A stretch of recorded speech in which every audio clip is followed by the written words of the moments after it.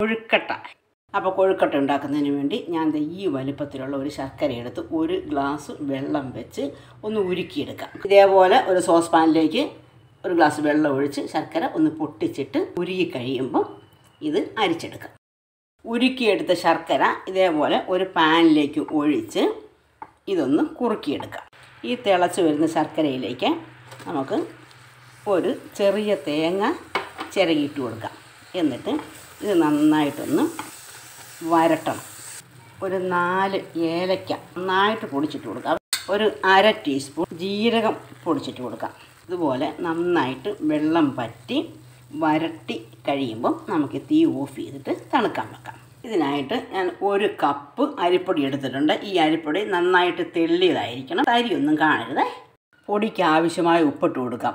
ആദ്യം തന്നെ ഇതൊന്ന് മിക്സ് ചെയ്തതിന് ശേഷമേ വെള്ളം തിളപ്പിച്ചൊഴിക്കാവുള്ളൂ.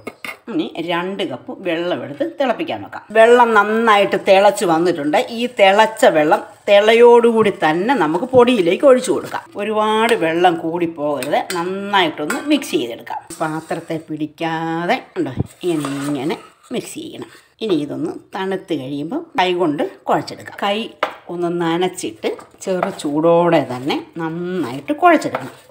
ഇങ്ങനെ കുഴയ്ക്കുമ്പോൾ ഈ പാത്രത്തിൽ ഒരു ശകലം പോലും പറ്റത്തില്ല. ഇതിന് ശേഷം ഇനി നമുക്കിതിന് ഉൺ ഉരുള ഉരുളയായിട്ട് മാറ്റി വെക്കുക അതായത് എത്ര വലുപ്പത്തിലാണ് ഉണ്ട വേണ്ടത് ആ വലുപ്പത്തിൽ മുറിച്ചെടുക്കാം. ഇനി ഇത് ഓരോന്നെടുത്ത് നന്നായിട്ടൊന്ന് പരത്താം. ഇത് പരത്തുമ്പോൾ നമ്മുടെ കയ്യിൽ വെള്ളമോ അല്ലെങ്കിൽ അല്പം ഓയിലോ പരട്ടണം. ഇതുപോലെ പരത്തിയെടുക്കാം. പരത്തിയിട്ട് ഇങ്ങനെ ഇങ്ങനെ ഇങ്ങനെ ഇങ്ങനെ സൈഡ് ഇങ്ങനെ വെച്ച് വെച്ച് വെച്ച് ഇങ്ങനെ കനം കുറച്ച് കനം കുറച്ച് സൈഡ് വെച്ച് എടുക്കുക. ഇതേപോലെ പരത്തിയെടുക്കണം. പരത്തിയെടുത്ത് ഇതിന്റെ ഒരു വശത്തേക്ക് ഈ നമ്മൾ തയ്യാറാക്കി വെച്ച തേങ്ങാപ്പീര വെച്ച് കൊടുക്കാം കൊടുത്തിട്ട് ഈ വശത്തേക്ക് മടക്കണം. മടക്കിയിട്ട് ഇതിങ്ങനെ ഇങ്ങനെ അങ്ങ് അടയ്ക്കണം. ഈ ചാനൽ കണ്ടുകൊണ്ടിരിക്കുമ്പം സബ്സ്ക്രൈബ് ചെയ്യാത്ത ആരെങ്കിലും ഉണ്ടെങ്കിൽ ഒന്ന് സബ്സ്ക്രൈബ് ചെയ്ത് സപ്പോർട്ട് ചെയ്യണേ. ഇതേപോലെ നമുക്ക് റെഡിയാക്കി എടുക്കാം. സ്റ്റീമർ അടുപ്പത്ത് വെച്ചു. ആവി വന്നിട്ടുണ്ട്. ആവി വന്നതിന് ശേഷം മാത്രമേ നമ്മൾ ഈ അപ്പം എടുത്ത് വെക്കാവുള്ളൂ. കേട്ടോ ആവി വരാതെ വെക്കരുതേ. ആവി വന്നതിന് ശേഷമേ ഇതിന്റെ മേളിലോട്ടും പെറുക്കി വെക്കാവുള്ളൂ. ഇല്ലെങ്കിൽ ഇത് ഒന്നൊന്നിനോട് ഒട്ടിപ്പോവും. നമ്മുടെ കൊഴുക്കട്ട വെന്ത് വന്നിട്ടുണ്ട്. നമുക്കത് ഇതുകൊണ്ട് ഒന്ന് ചെറുതായിട്ടൊന്ന് കൊത്തി നോക്കാം. അപ്പോഴത്തേക്ക് അത് പിടിക്കുന്നില്ല.